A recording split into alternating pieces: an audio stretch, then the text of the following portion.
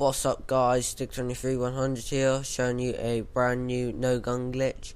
So what you want to do is get a care package and a UAV and you want to do the rapid fire glitch where you pull out your care package and switch your UAV like really quickly.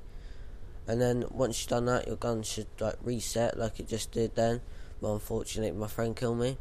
But anyway you want to do it and then you want to run to a ladder and sort of jump off again and you should have no gun. So this only works not not only works um if you press triangle the gun does come back but it's not uh, like thing to walk around with it's just a cool thing to show your friends.